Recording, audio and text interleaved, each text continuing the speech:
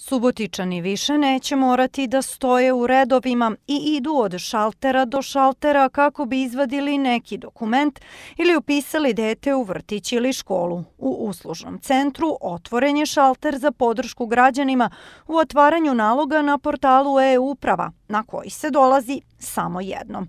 Nakon toga postaju e-građani i dobijaju sve usluge elektronski. Od rešenja za porez, termina za pasoš ili ličnu kartu, pa sve do izvoda iz matične knjige rođenih ili uverenja o državljanstvu. Kako je istakao direktor Kancelarije za informacione tehnologije i elektronsku upravu Mihajlo Jovanović, na ovaj način se transformiše javna uprava u servis građana, čime se štedi i vreme i novac. Današnjim otvaranjem ovog šaltera gde građani lako mogu da postanu e-građani, Subotica se svrstava u lidera u razvoju elektronske uprave u Srbiji.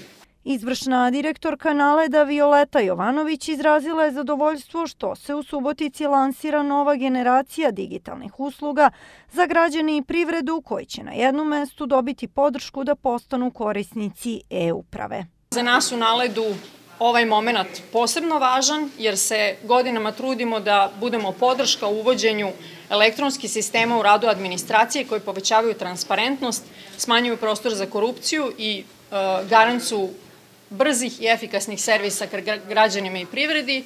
Tu smo posebno ponosni na sistem e-dozvola, na sistem e-inspektor, na elektronsko funkcionisanje katastra na kojima smo direktno radili, a svi ovi sistemi su potka i za nove servise na kojima se radi, e-agrar, e-prostor i e-zdravstvo.